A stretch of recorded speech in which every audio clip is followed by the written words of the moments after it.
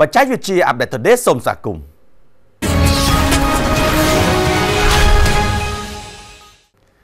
ក្រសួងយុតិធធម៌អាមេរិកសង្កត់ធ្ងន់ថាក្រុមហ៊ុន TikTok បង្កហានិភ័យដល់សន្តិសុខជាតិក្រសួងយុតិធធម៌អាមេរិកបានសង្កត់ធ្ងន់ជាថ្មីថាកម្មវិធីបណ្ដាញសង្គម TikTok បានប្រមូលយកព័ត៌មានពីអ្នកប្រើប្រាស់ទាក់ទងទៅនឹងប្រធានបទរសើបជាច្រើនដូច្នេះហើយកម្មវិធីកំសាន្តនេះគឺពិតជាមានហានិភ័យណាស់ចំពោះសន្តិសុខជាតិ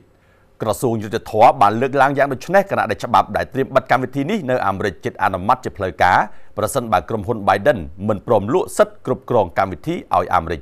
ជាក់ស្ដែងកាលពីចុងសប្តាហ៍កន្លងទៅក្រសួងបានលើកឡើងថាកម្មវិធីបណ្ដាញសង្គមនេះអាចត្រូវបានបង្ខំឲ្យចែករំលែកព័ត៌មានអ្នកប្រើប្រាស់នានាជាមួយនឹងរដ្ឋាភិបាលចិនដែលរឿងនេះអាចជះឥទ្ធិពលដល់មាតិកានានាដែលពលរដ្ឋអាមេរិកអាចមើលឃើញ បន្ថែមលើពីនេះទៀតនោះគេបានបញ្ជាក់ថា TikTok ប្រម៉ូទទិន្នន័យរសើបពីម្ចាស់គណនីជាង170លាននាក់ដោយនៅក្នុងទិន្នន័យទាំងអស់នោះក៏រួមមានទាំងទីតាំងអេរយាប័តនៅក្នុងការមើលវីដេអូនិងសារសម្ងាត់នានាផងដែរ។ជុំវិញរឿងទាំងអស់នេះដែរក្រុមហ៊ុន TikTok នៅតែប្រកែកចំពោះការចោទប្រកាន់អំពីការចែករំលែកព័ត៌មានទៅកាន់រដ្ឋាភិបាលរបស់ខ្លួនហើយក្រុមហ៊ុន TikTok បានតបថាការបិទកម្មវិធីនេះគឺជាការបិទការបញ្ចេញមតិរបស់ពលរដ្ឋ170លាននាក់ហើយជាការបំពេញច្បាប់ស្តីអំពីវិសោធនកម្ម សូមរំលឹកថាបន្ទាប់ពីសភាអាមេរិកធ្វើការអនុម័តច្បាប់យ៉ាងឆាប់រហ័សដើម្បីទប់ស្កាត់ហានិភ័យផ្នែកសន្តិសុខដោយសារតែ TikTok គណៈដែលក្រុមហ៊ុនបណ្ដាញសង្គមចិននេះកំពុងតែជួលមេធាវីដើម្បីតស៊ូក្តីយ៉ាងស្វិតស្វាញជាមួយនឹងសភាអាមេរិកនោះ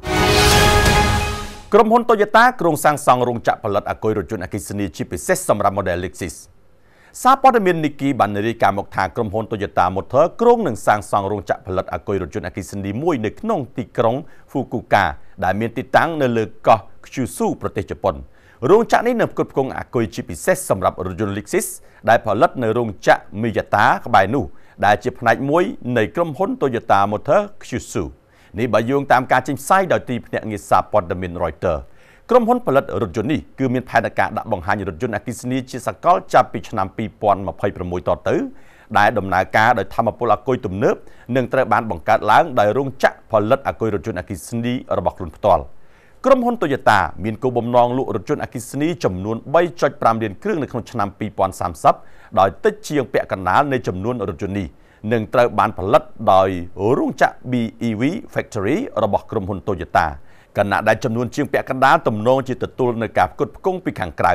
គំនិតដូចផ្ដើមនេះគឺមានគោលបំណងបង្កើតនៅតំបន់ Kyushu ជាមជ្ឈមណ្ឌលកណ្ដាលសម្រាប់ការផលិតអាគុយរបស់ Toyota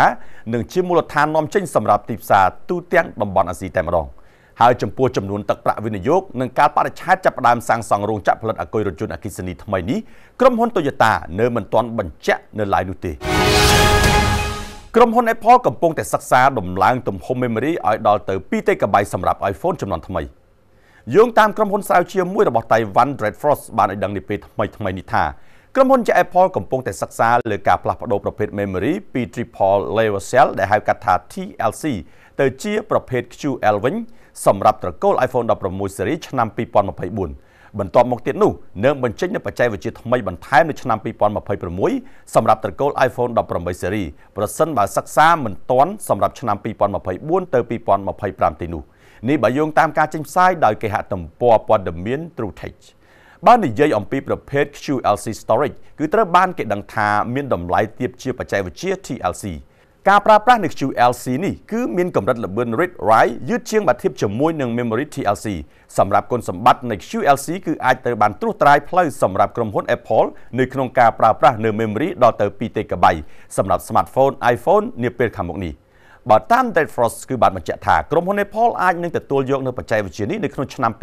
2026មានន័យថាអាចនឹងចាប់ផ្ដើមដាក់ដំណើរការនៅលើ smartphone iPhone 16 iPhone 17ឬ iPhone 18ក៏ប៉ុន្តែពេលវេលាជាក់លាក់នៅមិនទាន់ដឹងនៅឡើយនោះទេ គួរជម្រាបជូនផងដែរថាក្រុមហ៊ុន Apple ត្រូវបានគេរំពឹងថានឹងបង្ហាញនូវ smartphone iPhone 16 series នៅក្នុងខែកញ្ញានេះពលគឺនៅសល់រយៈពេលជាច្រើនខែទៀតនៅក្នុងការសិក្សាទៅលើទំហំ2 TB និងបច្ចេកវិទ្យា QLC ដែលនឹងប្រកាសនៅក្នុងឆ្នាំនេះឬនៅពេលអនាគតសូមអរគុណចំពោះការទស្សនាកម្មវិធីបច្ចេកវិទ្យា Update